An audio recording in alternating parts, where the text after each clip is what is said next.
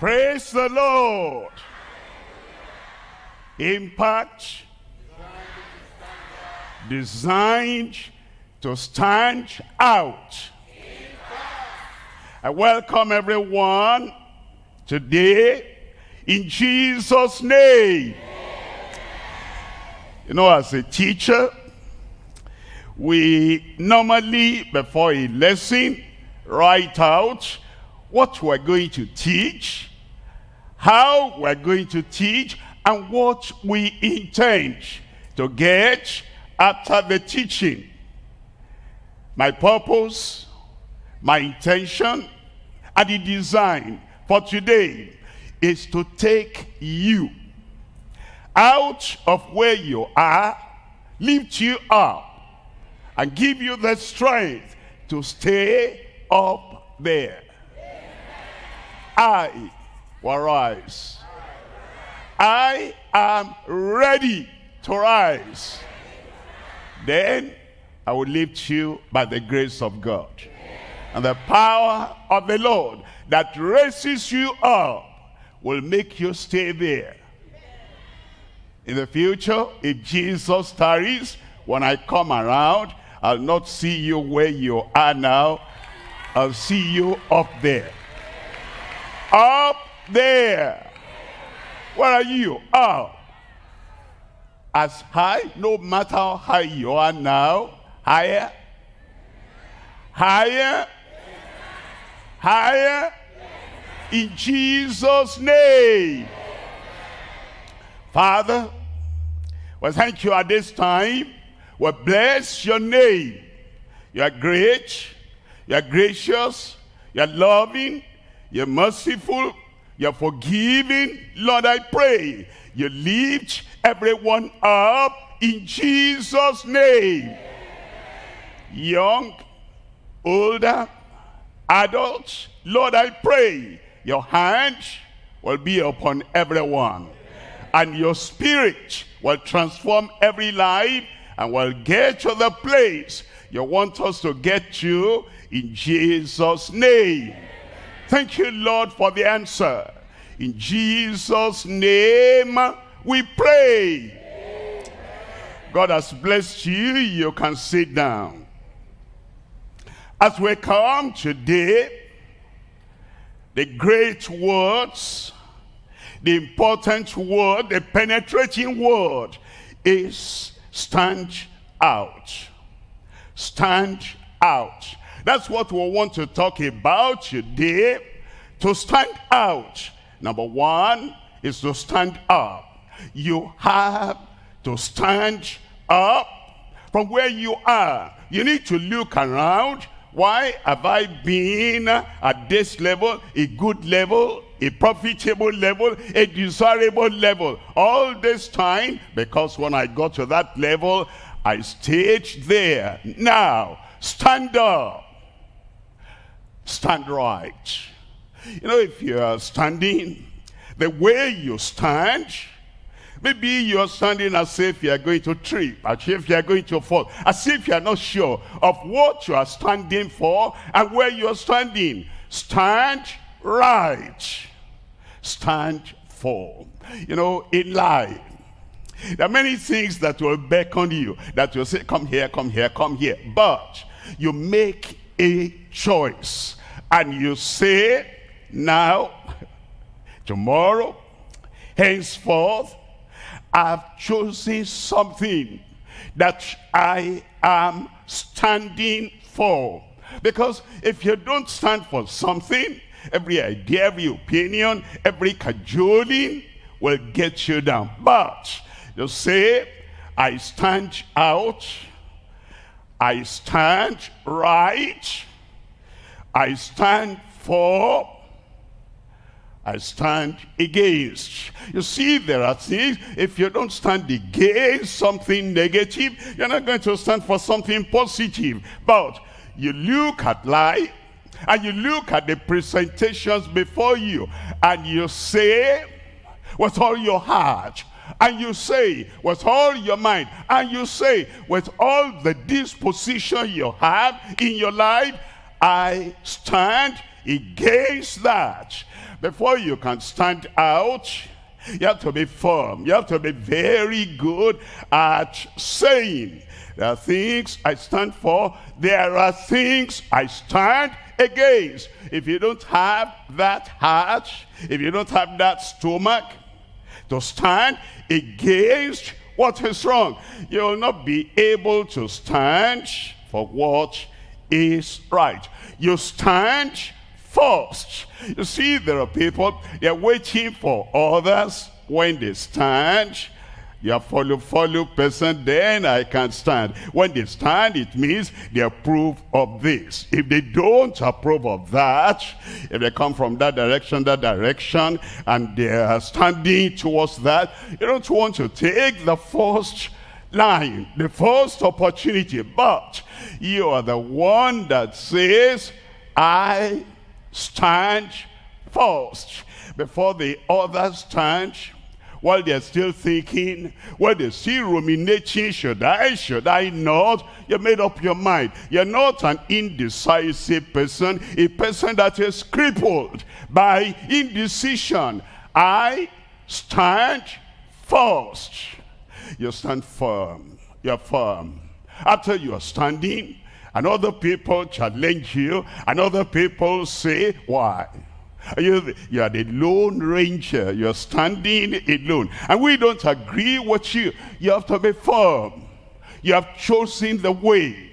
You have chosen the path. You have chosen your destination, your destiny. And you say, I stand firm. I stand fast. You stand forever. It, it is not, you know, something that says, uh, 10 years ago I was standing, but I've trodden the rough way. I've climbed the steepest mountain. I've gone through storm and the waves of the sea. Therefore, uh, maybe I need to, I'm getting tired. No, you stand forever. Those are the people I'm talking to today. The people that have the help of heaven. The people that have the state of mind that say, I stand out. I stand up. I stand straight. I stand against. I stand first. I stand firm. And come and meet me any other time until I close my eyes from there. I stand forever. And then when you get to heaven, you'll be standing forever with angels in heaven. Are you ready? I'm talking to you today on the decision and determination to stand out. I'm actually using for my three points, three people. Number one, I'm using Joseph. Number two, I'm using Ruth. Number three, I'm using Daniel. Those are people in their own time, in their own generation, adverse winds blew, but they stood and stormy waves came in their lives. But he stood. And the environment around them, it, it wasn't a conducive environment to stand. And yet, they stood. One, Joseph. Two, Ruth. Three, Daniel. And if they did it by the help of God, you can do it. A good, good amen. If, did, if they did it with partnership with the God of heaven, you will do it. In our own time, I wish there were another Joseph here. No, Joseph is not here. You are the one that replaces Joseph. I wish Ruth were here, but Ruth is not here. You, my daughter there, you are standing in the place where Ruth stood, and you will stand. I wish Daniel were here again to show us and point the way to stand out, to stand up, to stand straight, to stand against, to stand firm, to stand first, and to stand forever. But Daniel is not here. You are the man, you are the woman, and you come to stand in the place where they stood. You will stand. And you are ready to stand. And the grace and the strength and the power, the spiritual energy that it takes for you to stand out. The Lord grant it to everyone. Look at Genesis chapter 41 verse 38. And Pharaoh said unto his servants, Can we find such a man, such a one as this is?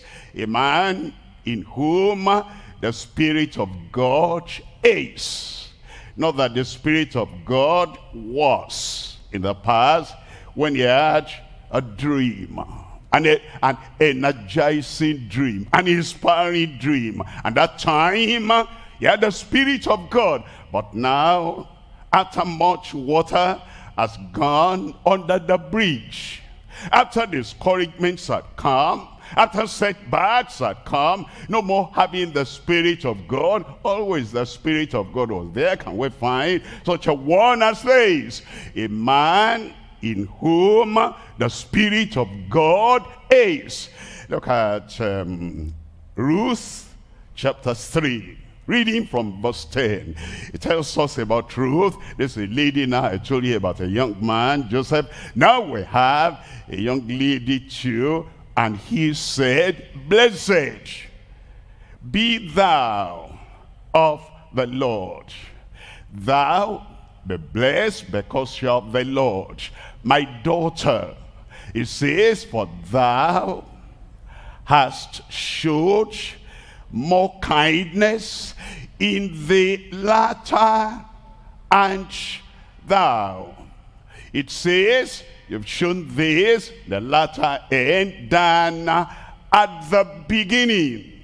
It says, inasmuch as thou followed not, followed not, whether young men or any other poor or rich. That's a lady. She stood out. She had a colleague, a partner, that enjoyed the same privileges that one could not stand. This is a lady that said others may go the way they want. Others may act the way they want. But I stand out. I stand up. I stand straight.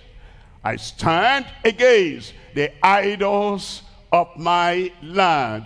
I stand firm. I stand fast. I stand forever. You see, all this have done it. We can do it. We will do it. By the help of the Lord, by the grace of the Lord, we stand. You will stand. I will stand. You know, it starts from your heart. That's why it says the decision and the determination to stand out. Three things we're looking at. Number one, we're looking at the purposeful decision to stand with conviction. If a person does not have conviction, this is right, that is wrong, what's he going to stand for? If a person does not have conviction, this is positive, this is negative, how does he have the power to stand? How does he know the direction to look? If a person does not know this is acceptable to God, this is unacceptable to God, how does he have the conviction? The conviction to stand and to know what is standing for. You must have conviction. And then is the conviction that produces decision. And you have the purposeful decision to stand with conviction. Number two. Number two is the persevering devotion to stand afar. Stand afar. Stand far from corruption. You might have been living in a spiritual enclave under your parents, under your mentors, under the people that were watching over you. But now, you come out of that enclave. You come out of those people that have the authority and the uh, supervision over you. And now you're in a place where everything is corrupt. It might be a school. It might be a college. It might be in another country. It might be in a strange land and you get there, but you carried your conviction of point number one with you. And you come here now, and there is corruption there. You know, a person can uh, be first class in mathematics and have corruption. A person might be first class, is standing out in engineering, but he lives in a corrupt society and he does not know, although he stood out in academics. Now, in the midst of corruption, he cannot stand, and so we're not here uh, the impact youth impact producing people who stand out in academics only and when it comes to spirituality they know nothing about salvation to stand for. They know nothing about the character of a saved sanctified soul that will stand and they will not fall for the corruption in society. We're talking about persevering devotion to, to stand afar from corruption. Number three, we're talking about the perpetual dominion. He is always on top, on top of the situation. Problem, is on top. He has dominion. Challenges. He has dominion. Is a champion. Because this is not a cake that is well cooked on one side and is rotting on the other side. There are many people in life, sorry to tell you, but you know now, that they are overdone in one on one side and they are uncooked they are rotting, they are raw, and they are not edible. They are not profitable. On the other side, the bookworm who reads and reads and reads, but although he conquers that little narrow subject, he has not conquered in his spirit. He has not conquered in his character. He has not conquered. against temptation against the temptress, against the tempter. He knows one area, he has one area of knowledge, but he does not have that perpetual dominion that he needs. But we need that perpetual dominion for standing fast with courage. You'll have that courage. You'll stand in that courage. Look at number one. Number one, we're looking at purposeful decision to stand with conviction. Purposeful decision that stands with conviction. Look at Genesis chapter 37. I'm reading from verse 6. And said unto them here. I pray thee, I plead with you, this dream which I have dreamed. Stop there. The dream which I have dreamed. Now, we need to understand the dream. The dream. There are some dreams we have in the night. The dream. There's some dreams we have that projects our mind. What I'm thinking about, I'm thinking about what I will be in the future. I'm still young. I'm thinking about the ladder I will climb. I'm thinking about the place, the peak of the mountain I will get to.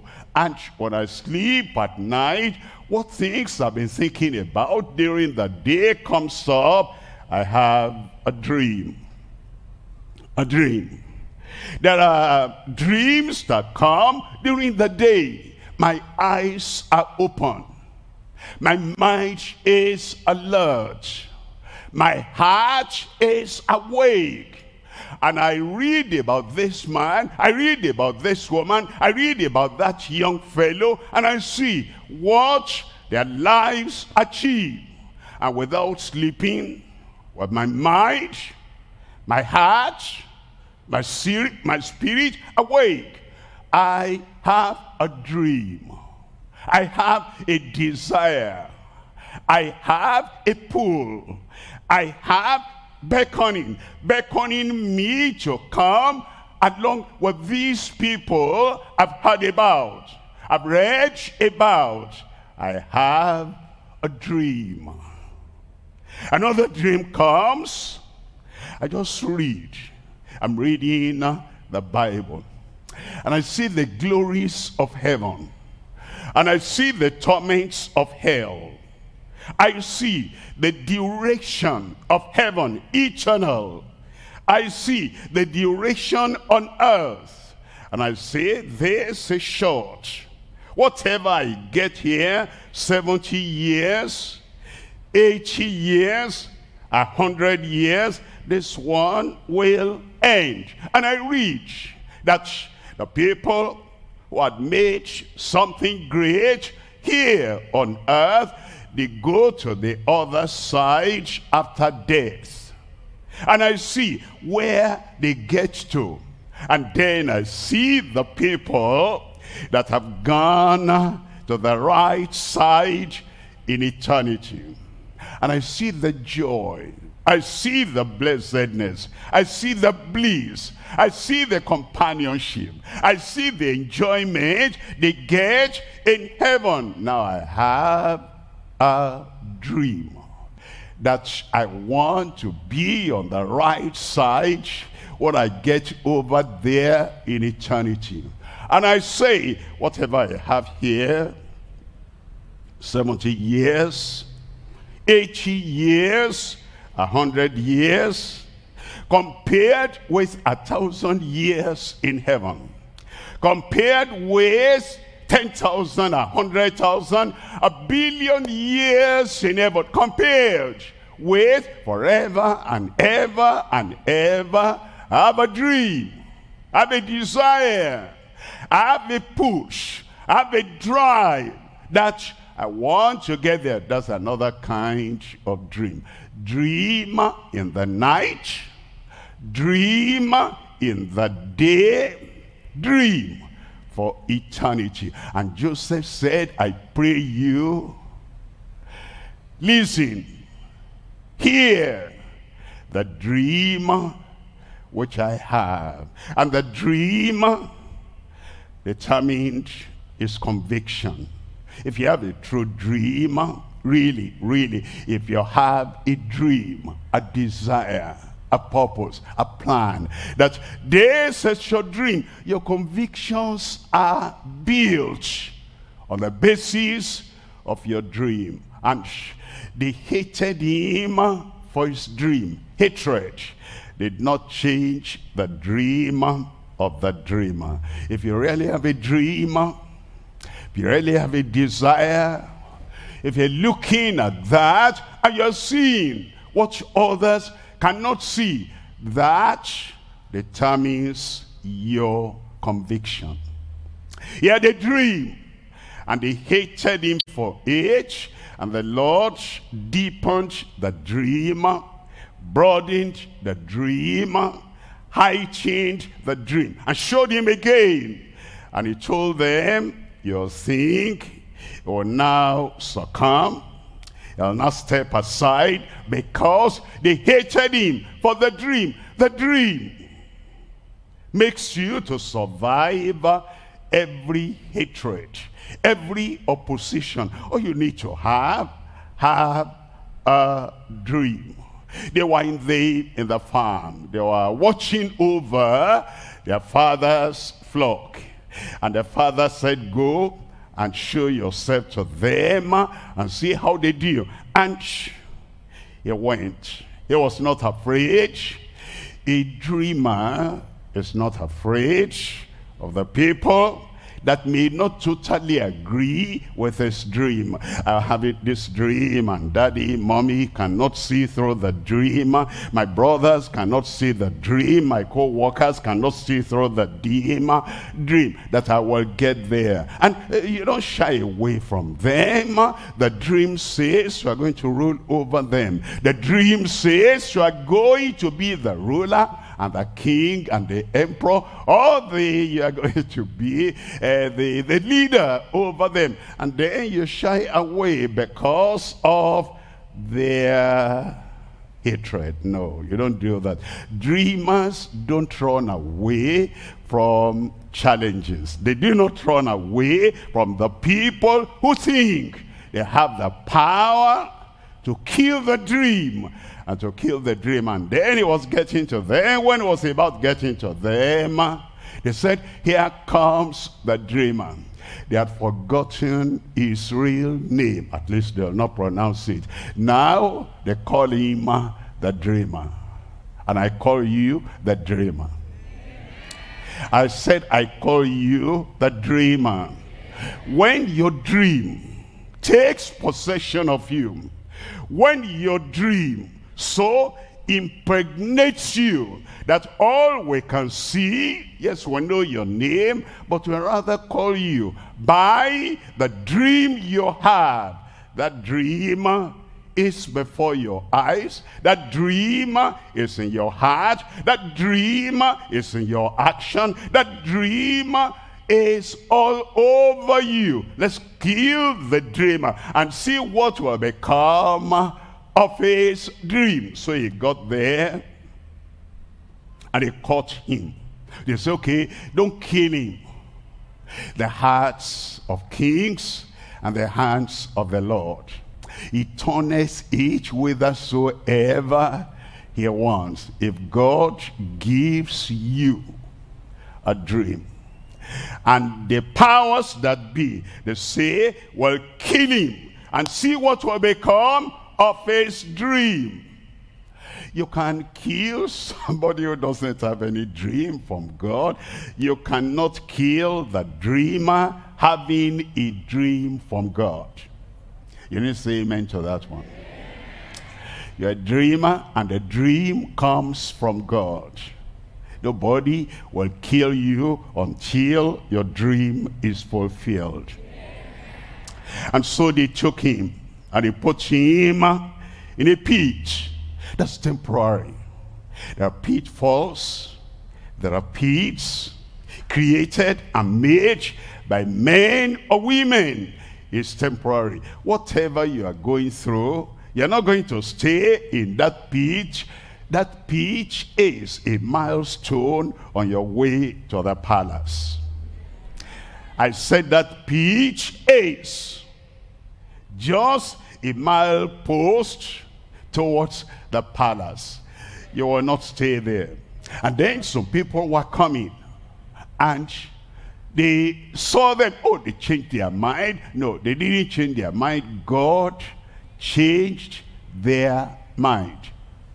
I said God changed their mind. The Lord will change the mind of your enemies the people that want to kill the dream, kill the dreamer, the Lord will change their mind. So they brought him out and they sold him. They sold him. They sold him. He is going to eventually become the seller of food to all of Egypt and all the nations around. But they thought they sold him to slavery. But the Lord will reverse all that. And so he came to Egypt. And they sold him again to a businessman, a popular man. His name, Potiphar. And he stayed there.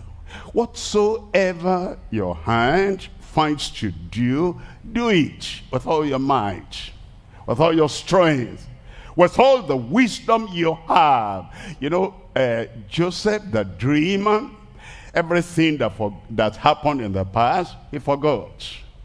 They took me, they uprooted me from my father's house.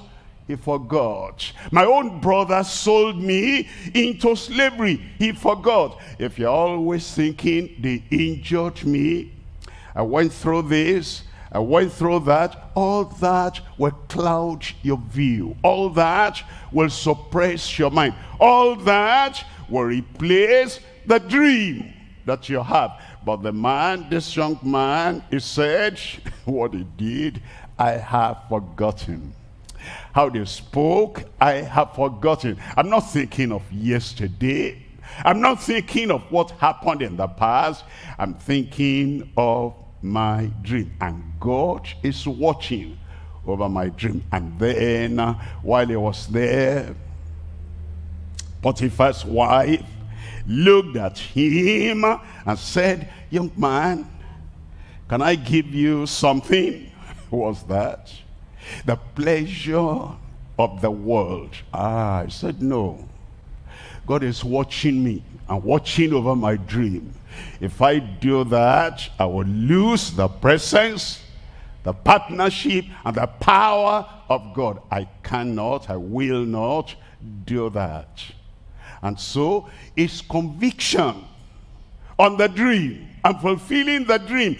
That conviction made him to say no to the temptress and to the temptation.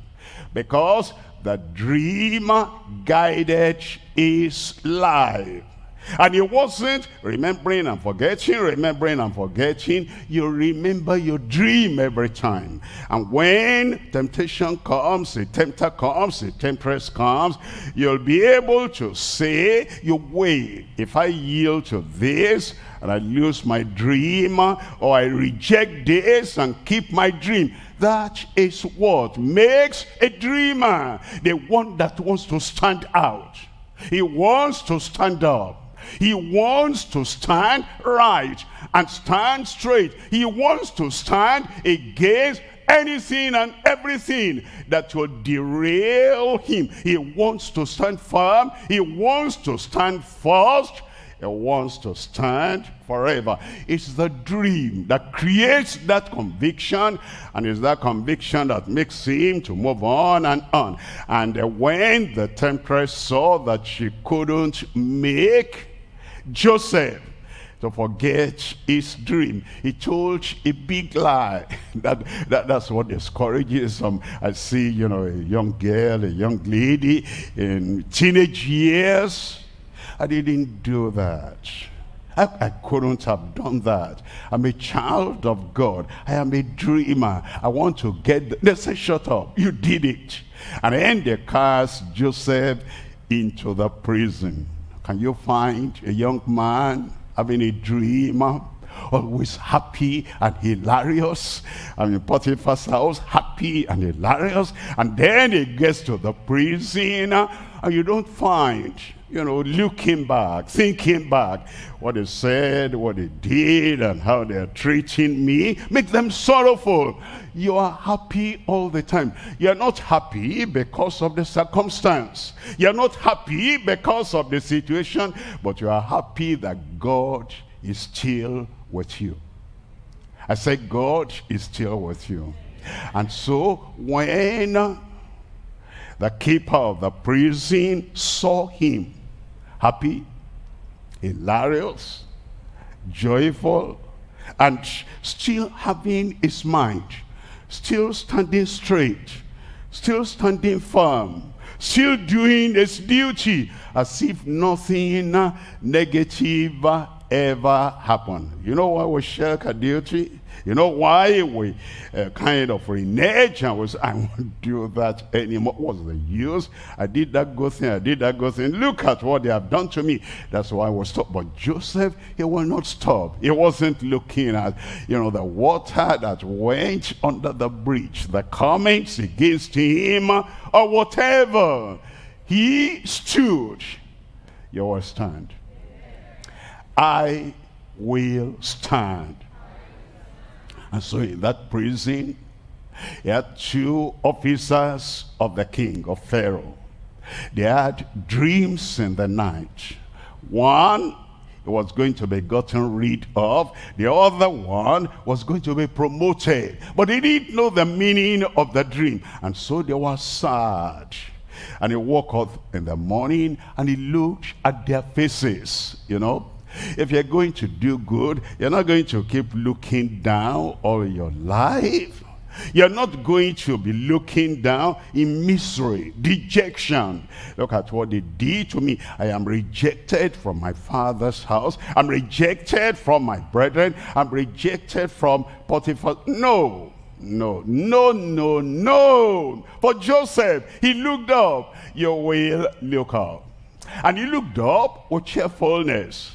And he looked up as somebody they could talk to. He was not carrying his problems on his face. He was not carrying the challenges of life he had on his person. No, all those things will not affect your facial appearance. You're still smiling, you're still happy. And he said, what's happening to you? You are sad. If anybody should be sad here, I should be sad. But in sadness, I know how to turn my sadness to gladness. You will turn your sadness to gladness. And so they said, we're dreams. Oh, he said, come, come, tell me the dream. God, the interpreter of the dream, is still with me. And so they told him the dream. And oh, he said, for you, this is the interpretation. For you, this is the interpretation. And the interpretation was fulfilled.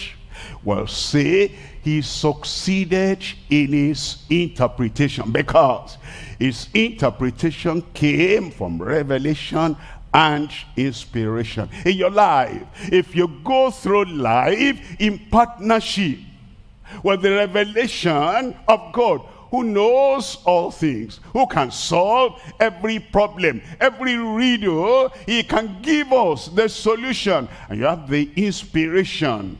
Your life has not gone into the drain, into darkness, that you will not have inspiration. And if you this, the dream, the dreams were fulfilled, as he said. But he told the man, remember me what is good for you. When you get back to Pharaoh, you see here, I've not done anything wrong. And they put this on me. Remember me.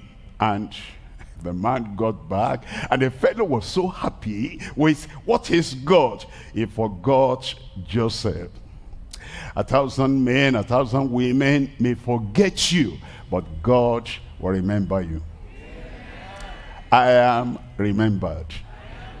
I am remembered. Now, dream, dream, dream. Do you notice something here? Joseph had a dream. He knew the interpretation. The people in the prison, they had a dream. He had the, he had the interpretation. And now Pharaoh had a dream. It's like God had given a special gift, a special talent to Joseph. Other people had other abilities, other talents, other gifts, but Joseph had this special gift. The father did not really have deep gift like that. It also it did not grow in the family. The brothers, yet you understood superficially you will rule over us. Is that what you are saying? But did it have the special gift spiritual that Joseph had? It's the gift you have that will lead you to being the highest and you will stand out in life in Jesus' name. My young age, you are already building houses with sand. Think about that. The Lord has given you a gift. You'll be a constructor. You'll be a builder. And in life, what you like to do, you see anything, uh, that table, look at that table clock, and the hands are moving, and it's doing tick, tick, tick. And when your, maybe your father, your mother is not there, you want to dismantle that thing. You want to know what is happening in there. And then little by little, as soon as you were, you know to dismantle that thing and then putting it back you had difficulty at the beginning putting it back but eventually you put it back. Doesn't that tell you something? Even before you went to any engineering class you were already demonstrating that gift why don't you follow through on that? As you are young, if you saw anybody sick in any way, it shows on your face you have sympathy for them. And if you could do anything, you like to raise them up from that bed of affliction. And then as you go through life, you, you always have this pity. And you always have this compassion and mercy. Doesn't show you that show you something? You're on the line of doctors and nurses and health helpers. In life, we look at ourselves. If you like to count anything they give you, you say one, two, three, four. And if they ask you the following day, how many things did we give you yesterday? One, two, three, four. If you like to add things together, even things that were not similar, you add this plus this, you get a kind of result. Does that show you anything at all? You hear them speaking over the radio, and you are there, you are listening, you're looking at the side of the at the side of radio. Who is talking there? Fascinates you. Does that tell you something about communication in life? As Joseph had that leaning, and he was leaning towards that, the dream. That is the gift that brought him to the top. The gift that will take you to the top is already inside you. Find it out. Explore it expand it, apply what you have, go to school, and then see that this is the direction you ought to go. Sometimes, appearance, good, wonderful parents. They're thinking of being a doctor, being a lawyer, being an engineer. And you say, come, you must be an engineer.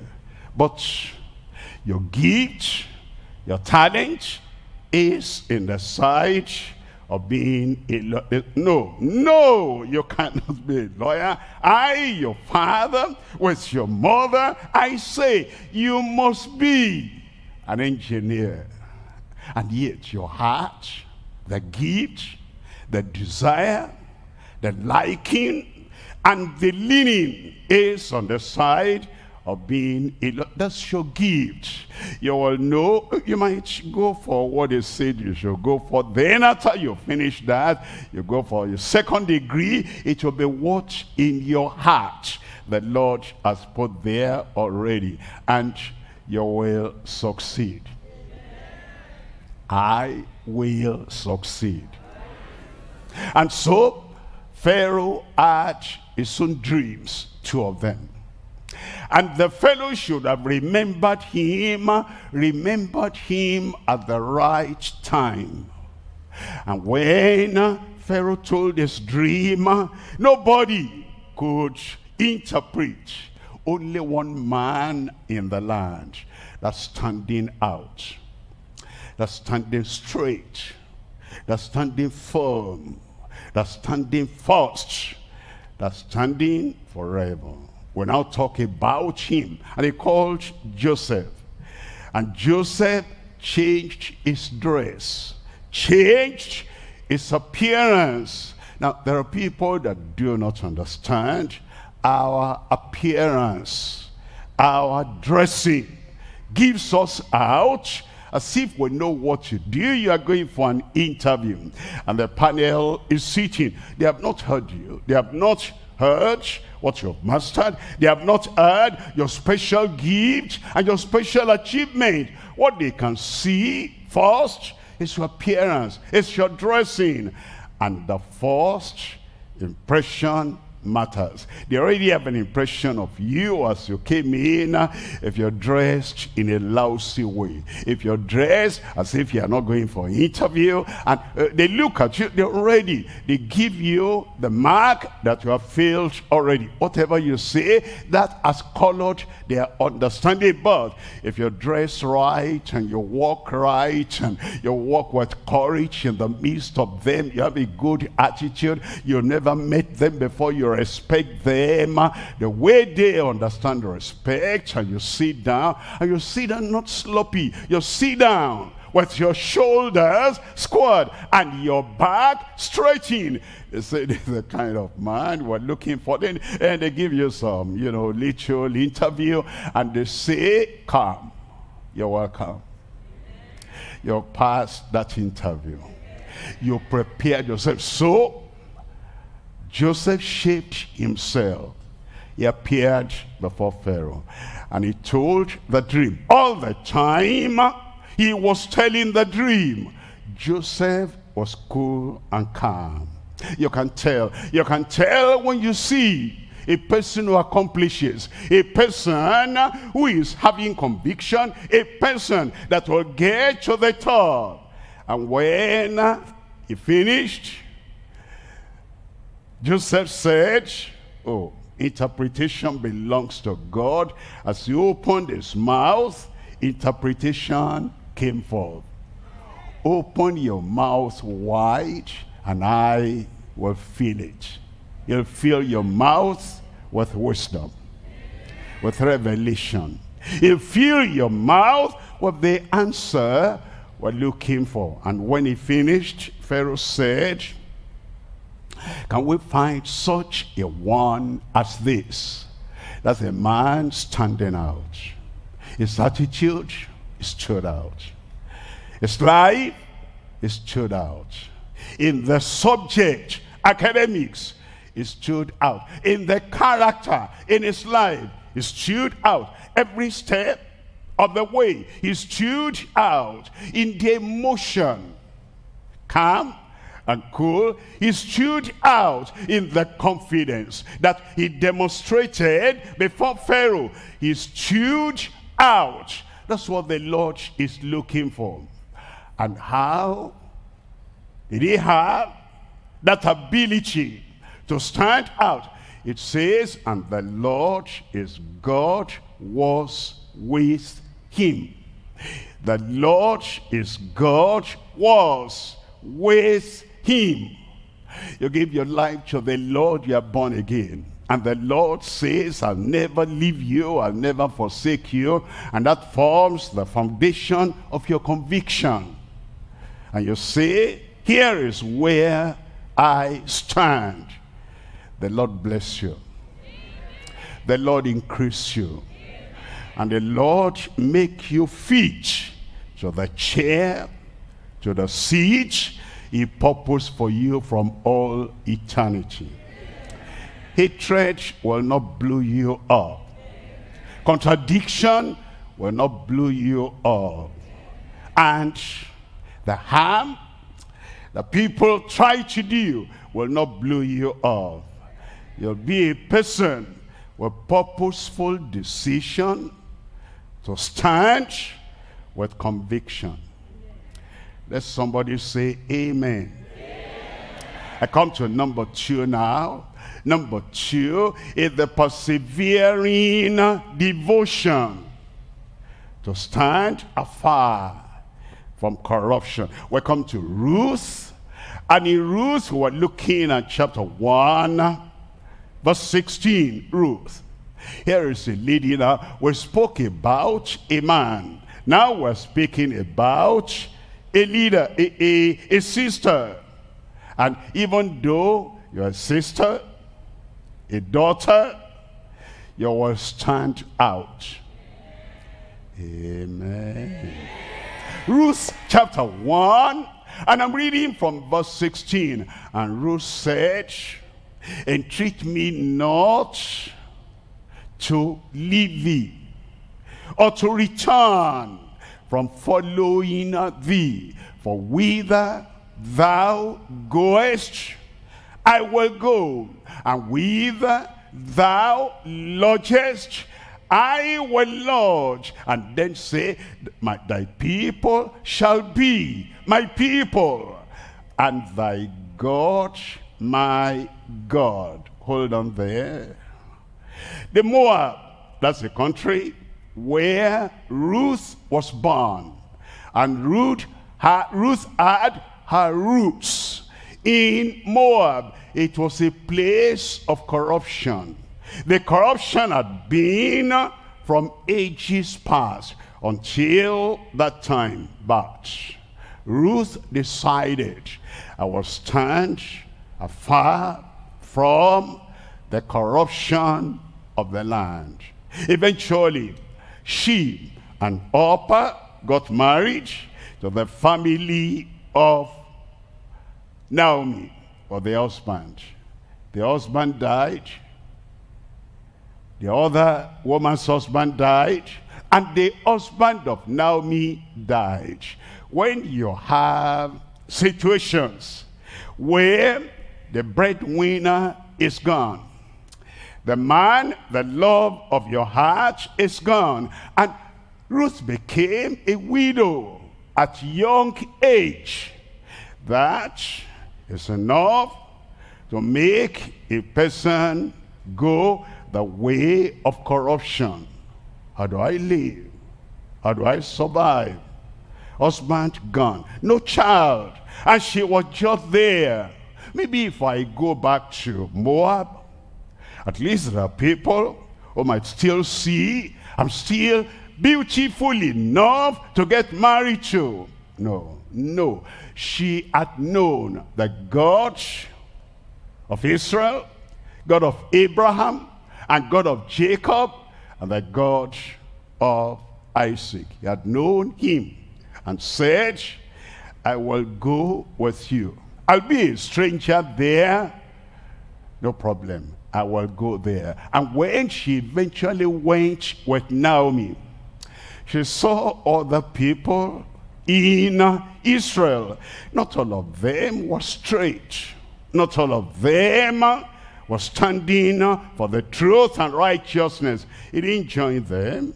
There are many ladies around and ladies of different colors and different characters and different behavior. And Ruth said, no, I'm not cut out to be like them. Eventually, the mother said, now, are we going to die of hunger here? Why don't you go out and do something? And Ruth didn't say, and so had walk here again, ready to work. A lady that says, look at, my, look at me now, father, no more, mother, no more, husband, not yet, children, not yet, and yet you are able to walk with your hand. All the other ladies you know around, they are on the street, they are the street corner, they are for this, they are for that, so that some men, whatever the men want to deal with them can deal and get money and survive. But Ruth said, no, it will not be like that. That you stand against the corruption in society. Those are the people God will promote. The Lord will promote you.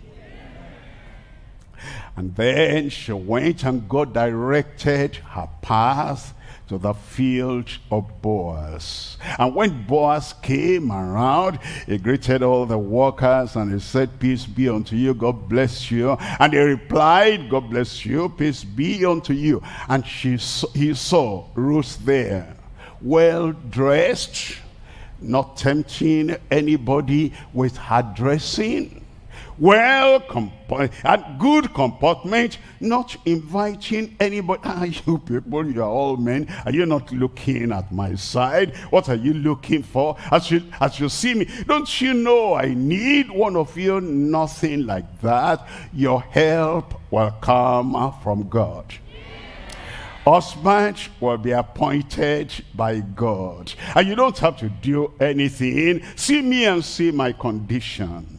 And so Boaz saw her, and Boaz said in chapter 2, Blessed art thou.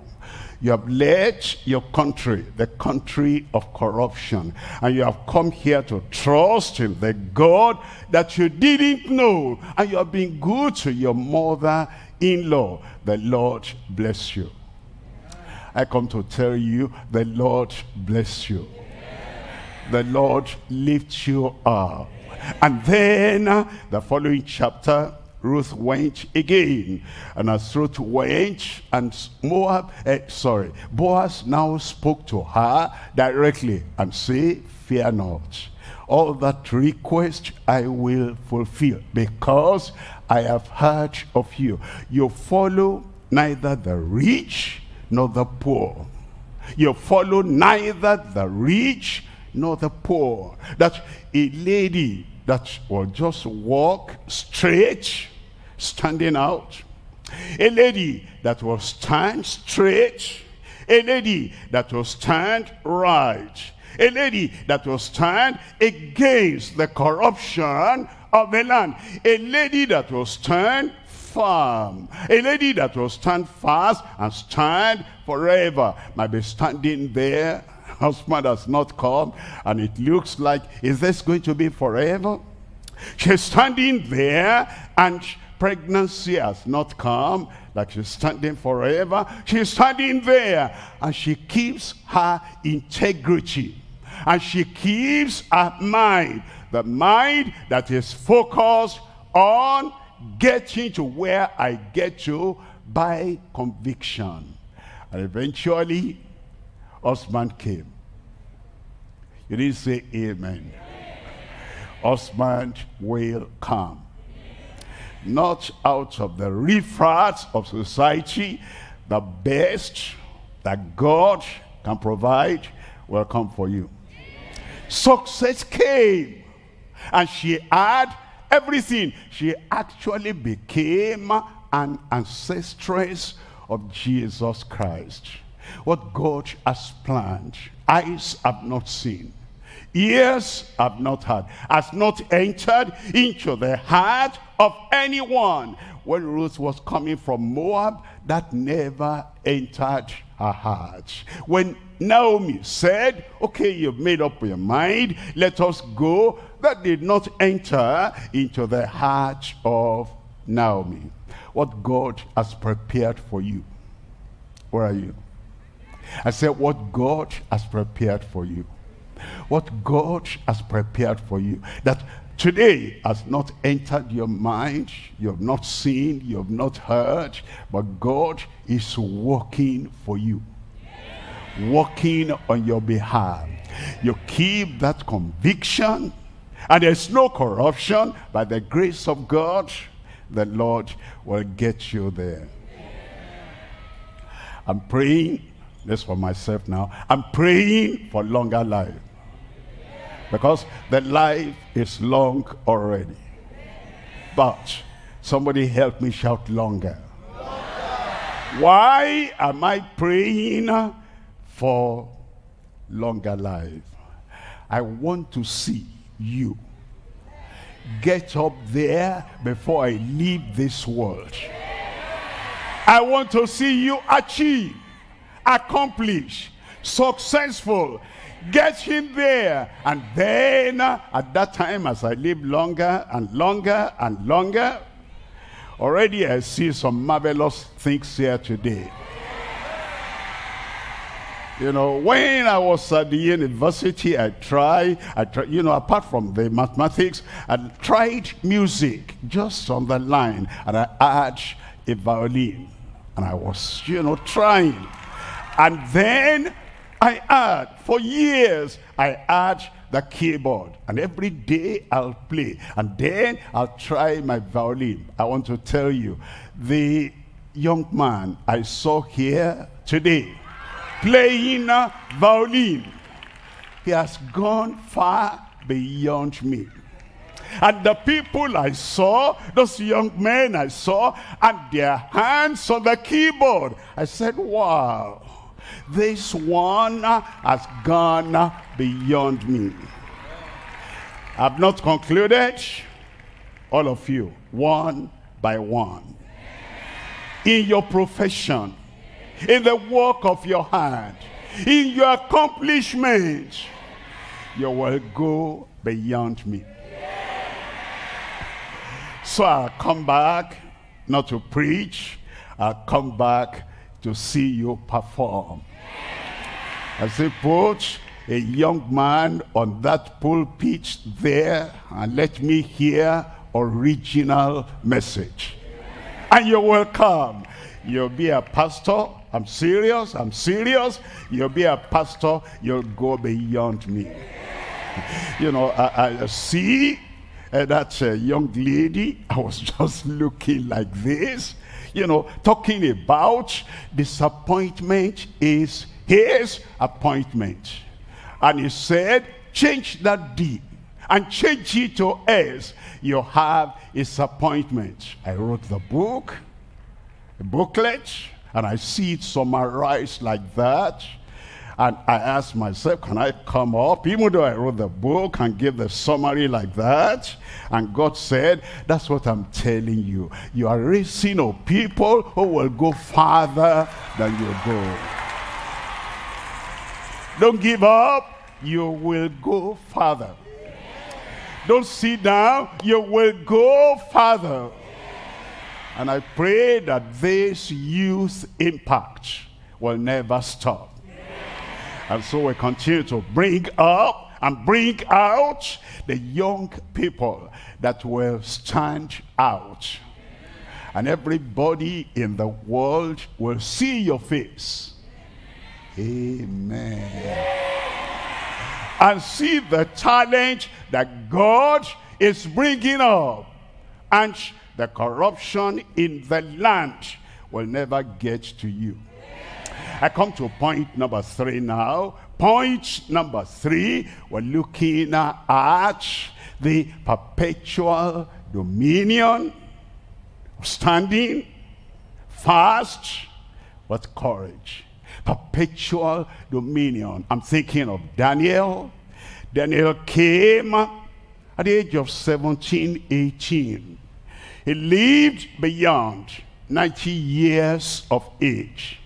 And all through 18 to 88, seven years, and 90, 70 years, 72, and more.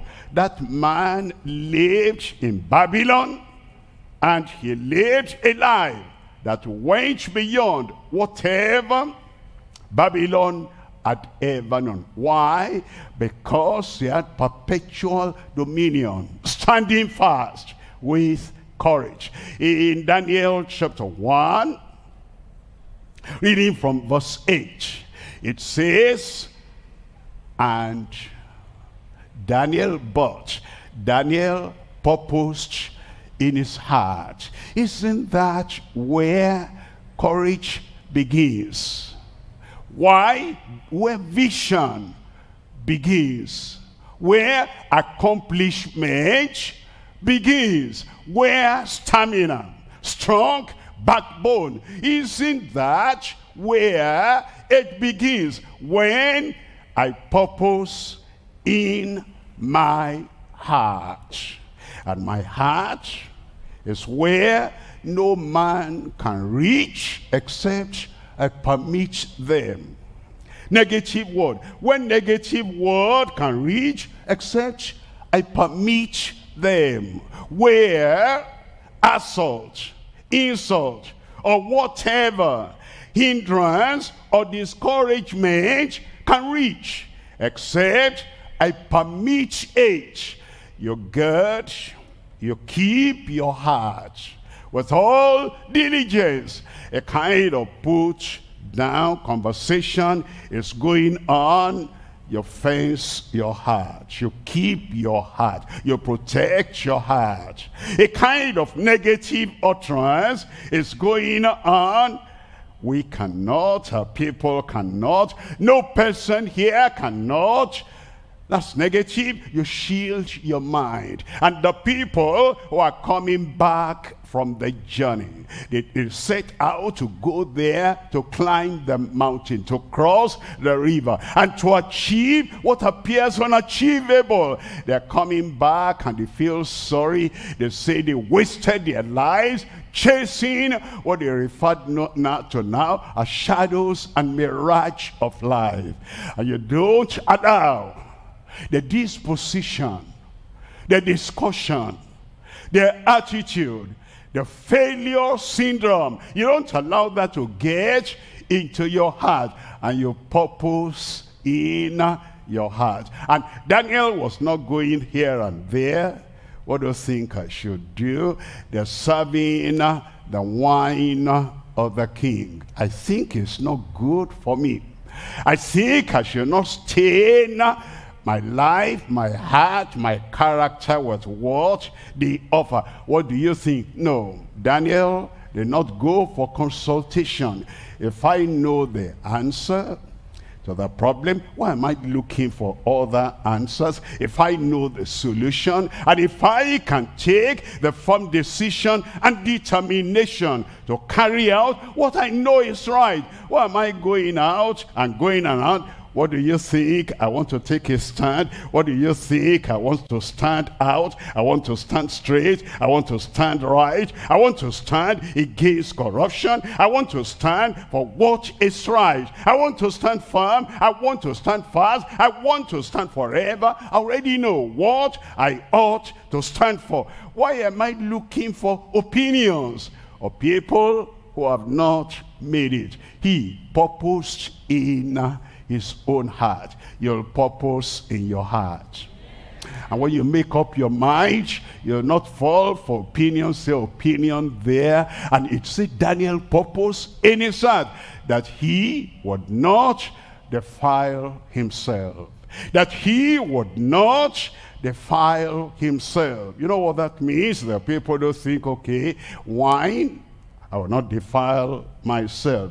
That's not the only thing that defiles a man. A man who is strong at heart, a man who is standing firm, a man who says, this is the way I will go. And this is the direction I will go in life. Opinions can come and defile that heart, that mind. And once your heart is defiled by contrary opinions, then you're shattered, you're broken, you're down. Because now you won't have the courage to rise up and do what you need to do. When failures failures of a man, failures of a woman.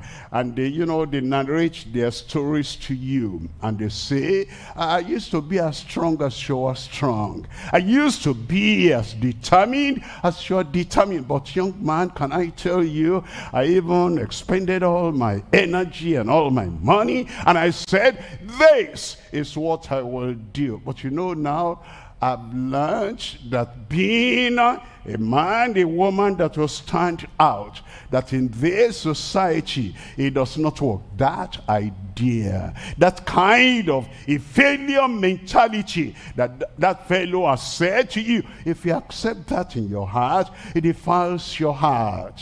It diminishes your strength. You say, he cannot, I cannot, but I can.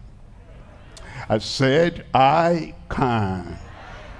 When you watch over the television, when you hear over the radio, and their communication is, uh, maybe they're in a debate, maybe they're in, a, you know, whatever communication, and they say this and they say this. Okay, what's the conclusion? The conclusion is the world and our country has gone so bad that nobody can turn anything around. If you listen to their argument and you say, look at that, this one, uh, they're adult people. They've seen this, they've seen that. They've come to the conclusion nobody and nobody can make it and make the country turn in the right direction. If you accept that in your heart, that defiles your heart, that deforms your personality. If you uh, you know, you are listening to people. They say, how old are you now? I'm 43. And this has not happened. That has not happened. That has not happened. If full at 40, tell me. Talk now. When you accept that. When you accept that. A fool at 40 is a fool forever your heart is defiled. You'll not even make any attempt. I'm 43. I cannot get married anymore. I'm 43. I cannot have child anymore. I'm 43. I cannot start a new lesson, a new study anymore. I'm 43. And where I am now, forever. In Jesus' name, I cancel that from your life. I'm going to say something. Mommy Esther will not mind what I say. Mommy, will you mind? No, no, no, she has answered me. Now, she was 40, she was not married. 45, she was not married. 50, she was not married. 60, she was not married. 65, I came along and I said, the will of God is for me to marry you. She went to pray, God, what will I do? God did not say, tell him no. Tell him you are 65 and a fool at 40, at 50, at 60 is a fool forever. She came back and she said, what did she say?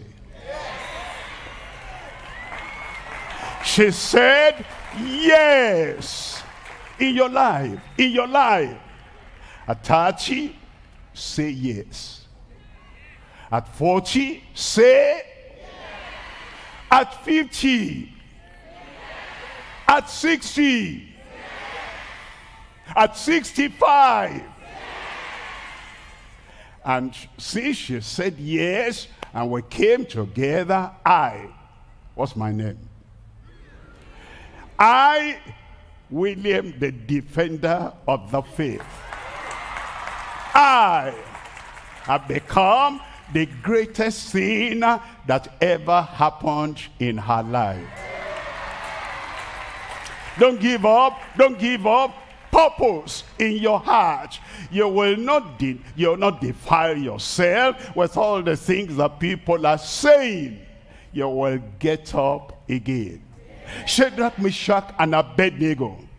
Um, Nebuchadnezzar said, Hey, you don't bow down. I will throw you into the furnace of fire and everything will finish in your life. And they said, go ahead and do whatever you want to do. And he threw them into the fire. In the fire, they stood up. They stood out. You know, it doesn't matter furnace or fire or problem. We will stand up. And Nebuchadnezzar came to look and said, Did we not throw three men into that furnace? I see four men. The Son of God came from heaven and is walking with them in the fire. As you make up your mind today and you say, I am for Christ, I am with Christ, and Christ is in me, you will walk in your fire and you will get to the place you need to get to in Jesus' name. They said Daniel could not be faulted about anything and so they said anybody that prays to God will be cast into the den of lions. Now, Daniel knew about that edict, but this is a man. The furnace of fire, the den of lions will not change his mind. Nothing negative will change your mind. Their proposals will not change your mind. Their fire, their lions will not change your mind. And so Daniel continued to pray as he used to pray because he knew the prayer that brought him where he was and his prayer that will take him higher. Well, to, they said, we have seen him. We have seen him. They caught him. And he told the king, this is the edict that cannot change. And so they threw him into the den of lions. Even lions will respect a man that has conviction, that has courage. All through the night, the lions were jostling for position. Let him lie on me as the mattress. And then he was there and he had good night's sleep in the lion's den. No worry, no worry in your heart. No anxiety, no anxiety in your life. And the lions of the day will not make you quit your position. And the king came in the morning and said, Oh, Daniel, it's your God whom you serve day and night, able to deliver you from those lions. And Daniel spoke back. His voice was bright. His voice was clear. His voice was confident. He said, Live forever, O King. My God has sent his angels. And he has closed the mouths of the lions that they could not hurt me. They couldn't hurt you. They didn't eat you up. No. Come on, let me see. And then he came out. It was, it was like when he entered, he now had even greater faith and greater confidence. He said, now I know wherever they drop me, the dream will be fulfilled before I leave this place. The courage will work in spite of the lions and I will make it. In conclusion, I've come to tell you that the grace, the strength, the inner energy to stand out, God has given you. And God will give you more. More. More. Forget the past.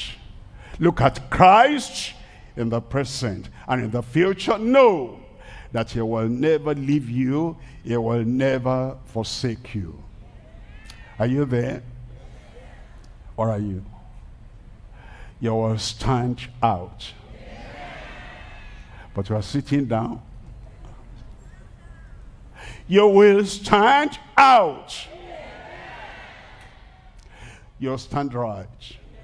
All the corruption around will not touch your life you will stand straight, stand right.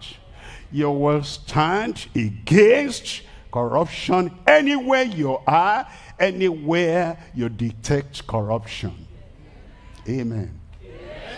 You will stand firm. You'll not be like jellyfish, you know, one leg in the sea and one leg on the land. And you, sometimes you are bending, sometimes you are bending that way. You will stand firm. Winds will blow. Waves will come. But you will stand firm. You'll stand fast. You'll stand fast. You'll be like that rock that nothing on earth will move. And you will stand, stand perpetually and stand forever. Now, as I leave Delta, I have the confidence in my heart I'm leaving multitudes behind in every office, in every school, in every college, in every department. I'm now standing with confidence that here in Delta State, I have people Look at him there. Look at her there. Look at her there. You'll be standing out everywhere you are in Jesus' name.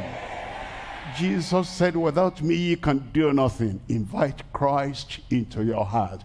Let him come today. Let him come to stay. And let him make you a man, a woman, a lady, a young man, gentleman, a teenager. That you stand out everywhere you go. Open your mouth and pray to God, the God of heaven. Lord, here am I help me stand out. Stand right. Stand straight. Stand against every corruption. Stand firm. Stand fast.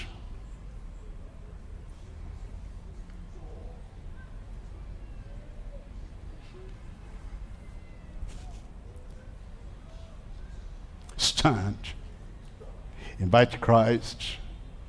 It'll make you stand. Help you to stand. Give you the power to stand. Cleanse every corruption out of your life.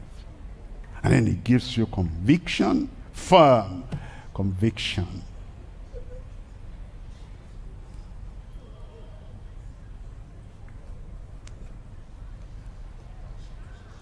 Believe it's done. Your life, your heart is done. Stop fearing what you feared in the past. Stop running here and there because of those who hate your standing. Stay there. You rule over them. In Jesus' name we pray. The Lord has answered your prayer. Every hindrance is taken out of your way. All doubts, all unbelief, all fear, taken away from your life. And the land where God has established you, you will stand out. I will stand out. Father, in the name of Jesus, I pray over here, make every past failure a present success. All the people that have been grounded, they're trying to give in, and they're giving up, Lord, raise them up with conviction with courage, with confidence that from today, my young brother there, my young sister there, son, daughter, now the inner energy has now come. You're meant, you're designed to stand out, you will stand out. And the decision you have made, the determination that God has given you, the devotion that you have already to stand and stand out, the Lord confirm it in Jesus' name. The kind of confidence you never had, receive that confidence right now. The kind of courage you've never had, receive that courage right now. The unfading, undying, unbendable conviction you never had, receive that conviction right now. The strength of the Lord go with you. The power of the Lord go with you. And the anointing that breaks every yoke come upon your life. Every yoke in your life is broken. Your sicknesses are healed. And all the discouragement, everything taken away in every part of your body. The healing virtue of the Lord go from the top of your head to the tip of your toe. Every hindrance cancelled. Now go in the strength of the Lord and go everywhere and stand out. Through you, The Lord will turn our community, our state, our nation. And the nations of the world will turn the nations of the world right side up in Jesus' name. I can. I will. I must. The Lord go with you in all his fullness. In Jesus' name we pray.